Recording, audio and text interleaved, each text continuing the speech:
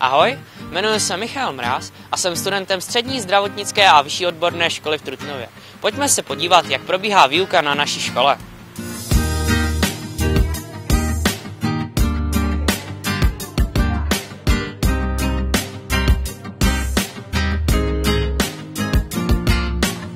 V chemické laboratoři, kde se žáci seznamují s chemií formou pokusů.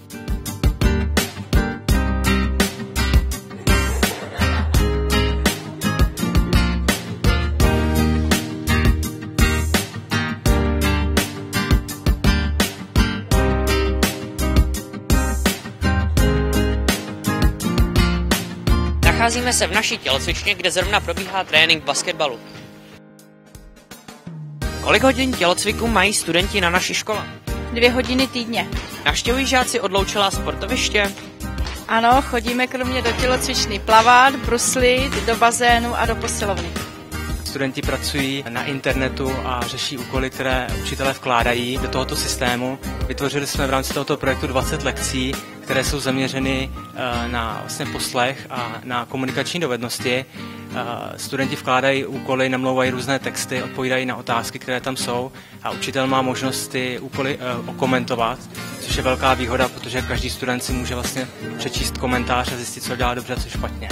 Naše škola pořádá zahraniční pracovní stáže pro studenty oboru zdravotnický asistent a diplomovaná všeobecná sestra. Cílem těchto stáží je zdokonalit anglický jazyk a samozřejmě poznat systém zdravotní péče v cizině. Zahraniční stáže mají veliký význam, protože sestřičky, které naše škola produkuje, mají uznanou kvalifikaci a můžou potom po naší škole pracovat jako sestry v cizině v rámci Evropské unie.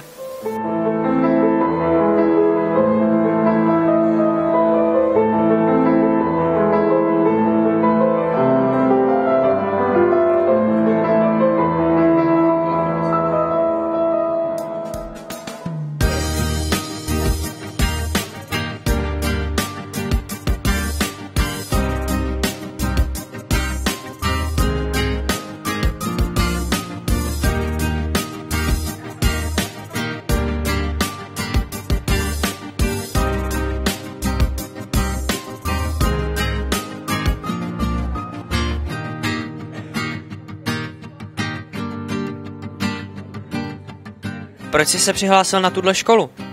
protože bych se chtěl asi jednou stát záchranářem, tak mi to přišlo jako dobrá volba. Líbí se ti u nás na škole? Jo, líbí, je to docela pěkná škola. Čím by si chtěla být, až dostuduješ střední? Chtěla bych být chirurgem. Myslíš si, že je tahle škola dobrou přípravou pro tvoje budoucí povolání? Myslím si, že určitě ano, protože tady jsou kvalitní učitele a i ta výuka je velice dobrá. A zde probíhá studentská rada.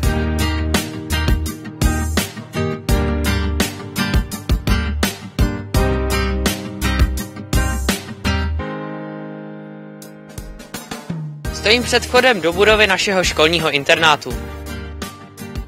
Co se ti nejvíc líbí na internátu? No tak, líbí se mě tady to prostředí, mají to tady hezky moderně udělaný a hlavně jako je tady dobrý kolektiv. Jaké aktivity děláš ve volném čase? Já ve volném čase třeba chodím do posilovny, chodím tady na pás, na běžecký, chodím běhat, pak taky chodím, na, chodím v úterý na Němčinu, vařím. Členové kroužku se dozvěděli, že se ztratil eh, nějaký zájmový oddíl nějaké skupiny dětí tady z jedné trutnovské školy. Jejich úkolem bylo jednak se zorientovat, kde bychom je měli hledat, hlavně se k ním dostat, najít celou tu skupinu, ošetřit je, transportovat je, zavolat si záchranou službu, dispečing, komunikaci s dispečinkem si vyzkoušeli po telefonu a myslím si, že si to celku dost užili a všechno provedli úplně skvěle. Záchranou našli všechny pohřešované osoby a, a v pořádku je dopravili do sanity.